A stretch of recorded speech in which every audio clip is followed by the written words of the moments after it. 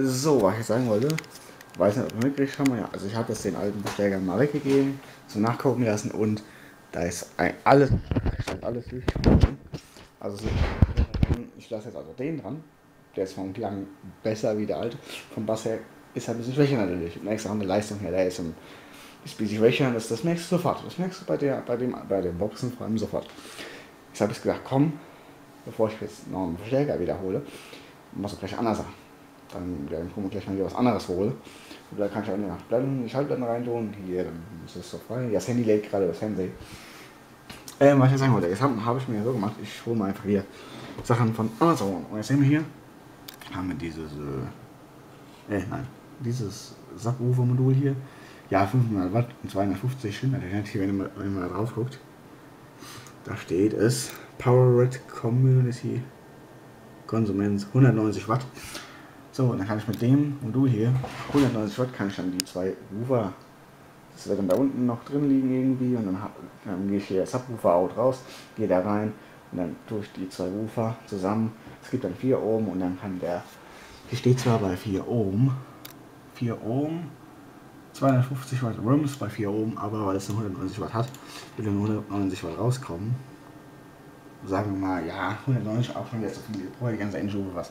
Aber dann kann ich, dann will ich schon mal fast, äh, jede, jeder Ruhe riecht fast 100 Watt. Und wenn ich mit einem Kanal ansteuere mit dem und der gibt 80 Watt einen Kanal raus, und da ist er fast auf voll, also wenn es mit 100 Watt hinkommt, dass sie ungefähr auf volle Auslenkung gehen. So, dann hätten wir das nämlich gemacht. Hier 80 Euro gehen eigentlich noch. So, kommen wir zum nächsten. Ich brauche hier noch, weil der, der Verstärker hat nur Pre-Out-Subwoofer, ist ein Change. Also dieser Stecker hier. Hat er nur. Und das Modul hat aber zwei.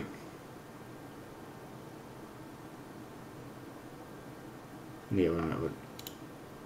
Oh, ich habe mich gerade erschreckt, Alter. Ich habe gedacht, hey, wie sollen denn die Kabel in das Modul rein? Also das sind ja die Anschlüsse und das hier sind ja auch die Anschlüsse. Habe ich mich gerade erschreckt. Scheiße, ich habe das falsche Kabel gekauft. Nein.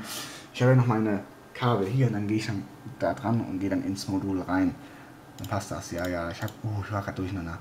Das kostet halt 5 Euro. 5, mein Gott, die 5 sind also 5 Euro, kannst du sagen. Ja, das ist halt nochmal, ist halt nicht das Inline. Ich wollte eigentlich so ein Inline-Kabel, ne, aber es 8 Euro kosten. Ich will ja doch ein bisschen was sparen. Habe ich das hier jetzt genommen, ist ja nicht schlimm. Hauptsache ein, Kabel, ja. So, dann ist es also das. So, und jetzt, gut. wollte ich ja die gelben hier, oh, das, das Bild wird immer so komisch wollte ich die gelben als rein Bass laufen lassen. Ich habe die Frequenz, weil ich hatte jetzt zweimal separate Bass und einmal Bassmittel, weil oben der Bassmittel waren, die zwei waren rein Bass und hier war der Hochtöner drin, sitzt halt da. So, das ist das Problem, auf rein Bass schwingt der weniger wie auf Bassmittel. Das heißt auch bei den wo die Original noch drin waren, wo die Säcke kaputt war. Ich hatte trotzdem laufen lassen. Da hat der Bassmittel, der hat dann die Hälfte ausgemacht und die, die haben so fein gezählt, da hast du gedacht, was ist denn das? Das kann zwar ein Bass raus, wie geil, ja, aber wenn, dann will ich das dann alle so gut wie gleich schwingen. Also habe ich gedacht, gut, komm, brauche ich mir noch eine Frequenzweiche, nochmal eine separate, nochmal die nur für den Bass ist. Das ist eigentlich Subwoofer-Weiche, passiv, die einfach nur die Höhen wegfiltert ohne Verstärkung.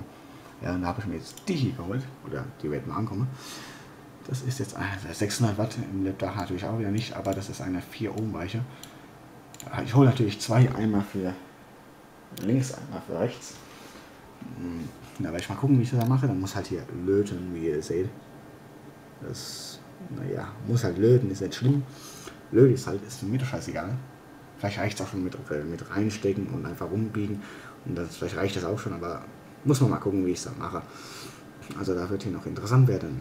Ja, das sind eine da an der Weiche, das ist eine 8 Ohm Frequenzweiche und da hängen vielleicht jetzt 2 Ohm noch dran, wenn du alles zusammen machst, Parallelstellung.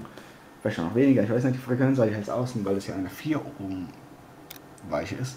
Und das gibt dann hier so bei diesen drei, irgendwas mit 2 Ohm vielleicht auch hinkommen, ich weiß es ja nicht genau, wie das funktioniert hier, aber eigentlich dürfte die nicht frecken hier. Und dann ist es nämlich eine reine. Die trennen das auf 120 Hertz, also bis 120 Hertz kommen durch, ab 121 Hertz soll nichts durchkommen. Das ist natürlich auch ein bisschen, ich sage es irgendwie schon bis 150 wird vielleicht was durchkommen, über 150 wird es dann weg sein, aber halt, dass es ein bisschen nur mehr Bass macht. Das ist natürlich schon schön. Die alle bleiben dann mit der Frequenzweicher verbunden, der Hochtöner auch.